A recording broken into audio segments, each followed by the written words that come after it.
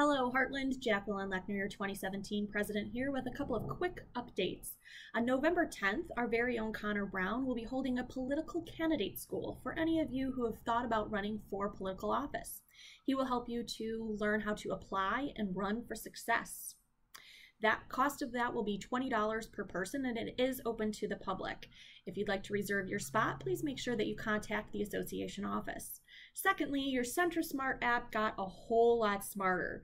Activate your agent safety feature to make sure that you are safe during your showings and contact any emergency contacts if need be.